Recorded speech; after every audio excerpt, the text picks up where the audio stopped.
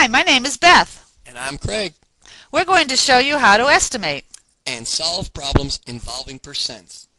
Let's look at our first problem. During our first snowstorm, how did the class find out that the school was canceled? 42 out of 70 found out from the internet. The rest of the students found out from the radio. What percent of the students heard about the cancellation from the radio? Remember, let's estimate before we start. So I ask myself this question. Did more or less than 50% of the kids hear about the cancellation on the radio? Well, let's just say that 50% of the kids did. How many would that have been? That would have been probably about 35 kids, right? Well, let me estimate the number of kids. So there's 70 kids altogether. 42 heard about it on the internet. So that's roughly 30 kids. So I know that only about 30 kids heard about it on the radio. 30 is less than 35, so I know that my percent of kids who found out about the cancellation on the radio should be less than 50%.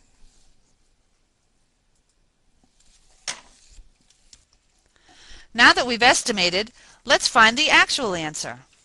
First, I take the fraction that found out that found out from the internet 42 out of 70.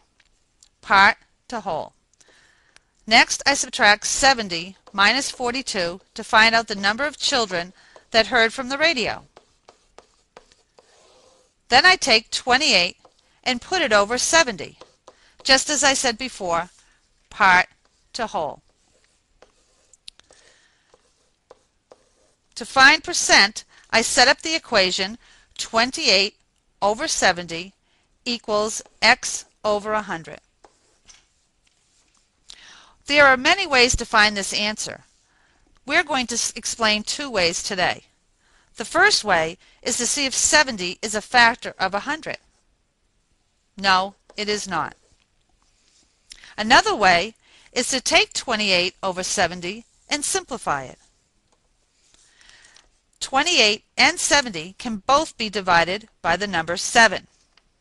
28 divided by 7 is 4, and 70 divided by 7 is 10.